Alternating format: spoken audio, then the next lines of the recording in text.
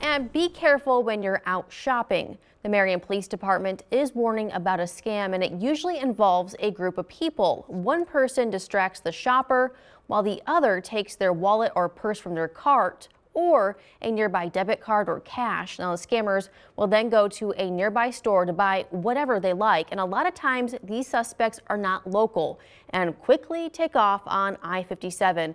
Police say do not leave personal items in the cart, wear a crossbody bag if you can, and only take the money or debit cards that you need.